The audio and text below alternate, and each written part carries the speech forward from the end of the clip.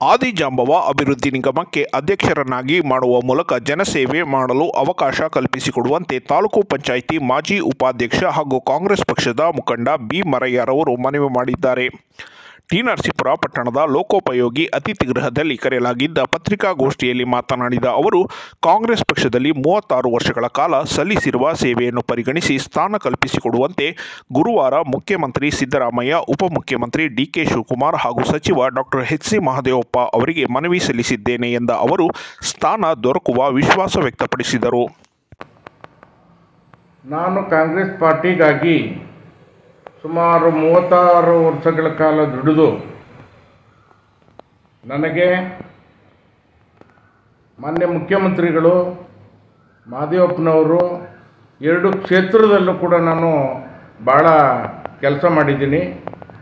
ಮೂವತ್ತಾರು ವರ್ಷದಲ್ಲಿ ಮಂಡಲ ಪಂಚಾಯಿತಿ ಇರ್ಬೋದು, ಗ್ರಾಮ ಪಂಚಾಯಿತಿ ಇರ್ಬೋದು, ಸತತವಾಗಿ ನಾನು ಗ್ರಾಮ ಪ, ಮಂಡಲ ಪಂಚಾಯಿತಿಯಿಂದ ಗ್ರಾಮ ಪಂಚಾಯಿತಿ ಮುಗಿಸಿ ತಾಲೂಕ್ ಪಂಚಾಯಿತಿ ಉಪಾಧ್ಯಕ್ಷನಾಗಿ ಕೂಡ ನಾನು ಕಾರ್ಯನಿರ್ವಹಿಸಿದ್ದೀನಿ.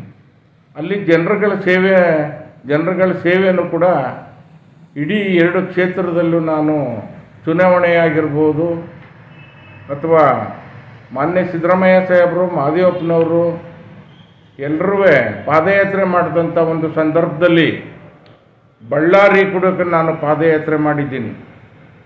ಜೊತೆಗೆ ಏನು ಟಿ ನರಸೀಪುರದಲ್ಲಿ ಆಗ್ತಕ್ಕಂಥ ಕಾರ್ಯಕ್ರಮದಲ್ಲೆಲ್ಲ ನಾನು ಭಾಗವಹಿಸಿ, ನನ್ನ ಚಿಕ್ಕ ವಯಸ್ಸಿನಿಂದ ಕೂಡ ನಾನು ಕಾಂಗ್ರೆಸ್ ಪಾರ್ಟಿಯಾಗಿ ನಾನು ಬಂದಿದ್ದೀನಿ. ಆದ್ದರಿಂದ ದಯಮಾಡಿ ಮಾನ್ಯ ಮುಖ್ಯಮಂತ್ರಿಗಳು ಮಾದೇವಪ್ಪನವರು, ಎರಡು ಕ್ಷೇತ್ರದ ನಾಯಕರು, ನಮಗೆ ದೊಡ್ಡ ನಾಯಕರು, ನಾನು ಕೂಡ ಎಂ ಎಲ್ ಸಿಗೆ ನಾನು ಟಿಕೆಟ್ ಕೇಳಿದಂಥ ಒಂದು ಸಂದರ್ಭದಲ್ಲಿ ಕಾಂಗ್ರೆಸ್ ಬಿಲ್ಡಿಂಗ್ ಫಂಡು ಅಂತ ಒಂದು ಲಕ್ಷ ರೂಪಾಯಿಗಳನ್ನು ಕೂಡ ನಾನು ಕಟ್ಟಿ ಅಲ್ಲಿ ನನ್ನನ್ನು ಎಂಟು ಕ್ಷೇತ್ರದಲ್ಲಿ ಎಂ ಎಲ್ ಎಗಳು ಇಲ್ಲ, ನಮ್ಮ ಕಾಂಗ್ರೆಸ್ ಎಂ ಎಲ್ ಎಗಳಿಲ್ಲ ಎಂ ಪಿಗಳಿಲ್ಲ ಆದ್ದರಿಂದ ನಿನ್ನ ಒಬ್ಬ ಬಡ ನಿಮ್ಮ ಕಾಂಗ್ರೆಸ್ ಪಾರ್ಟಿಯವ್ರನ್ನ ನಾವು ಇದು ಮಾಡೋದು ಬೇಡ. ನಾನು ಮುಂದೆ ಸರ್ಕಾರ ಬಂದಂಥ ಒಂದು ಸಂದರ್ಭದಲ್ಲಿ ನಾನು ನಿಮಗೇನಾದರೂ ನಾನು ಮಾಡೇ ಮಾಡ್ತೀವಿ ಅನ್ನೋದನ್ನು ಕೂಡ ಮಾನ್ಯ ಮುಖ್ಯಮಂತ್ರಿಗಳು ನನಗೆ ವಾಗ್ದಾನ ಕೂಡ ಕೊಟ್ಟಿದ್ದರು ಅದರ ಪ್ರಕಾರವಾಗಿ ನಾನು ಒಣ ಕ್ಷೇತ್ರದ ಆತ ನನಗೆ ಆದಿಜಾಂಬ ಅಭಿವೃದ್ಧಿ ನಿಗಮದ ಅಧ್ಯಕ್ಷನಾಗಿ ನನ್ನನ್ನು ಮಾಡಿಕೊಡ್ಬೇಕು. ಮಾನ್ಯ ಮುಖ್ಯಮಂತ್ರಿಗಳು, ಮಾದಿಗ ಜನಾಂಗದವ್ರಿಗೆ ಅದು ಒಂದು ನಿಗಮ ಮಾಡಿ, ಆ ಜನಾಂಗಕ್ಕೆ ಸಿಕ್ಕಂಥ ಸವಲತ್ತು ಆ ಜನರಿಗೆ ಸಿಕ್ಕಬೇಕು ಅಂಬೇಡ್ಕರ್ ನಿಗಮ ಇರ್ಬೋದು, ಆದಿಜಾಂಬವ್ರ ನಿಗಮ ಇರ್ಬೋದು, ಪ್ರತಿಯೊಂದು ನಿಗಮನೂ ಕೂಡ ಆಯಾಯ ಜನಾಂಗದವ್ರಿಗೆ ಮಾಡಿದ್ರು. ಅದರಲ್ಲಿ ಇಡೀ ರಾಜ್ಯದಲ್ಲಿ ಮಾದಕ ಜನಾಂಗದ ಅಭಿವೃದ್ಧಿ ನಿಗಮನ ಕೂಡ ಮಾಡೋಕ್ಕೆ ಯಾರಿಂದೂ ಕೂಡ ಸಾಧ್ಯವಾಯ್ತಿರಲಿಲ್ಲ. ಮಾನ್ಯ ಮುಖ್ಯಮಂತ್ರಿ ಸಿದ್ದರಾಮಯ್ಯ ಸಾಹೇಬ್ರವರು ಮಾದಕರಿಗಾಗಿ ಒಂದು ನಿಗಮವನ್ನು ಮಾಡಿದ್ರು.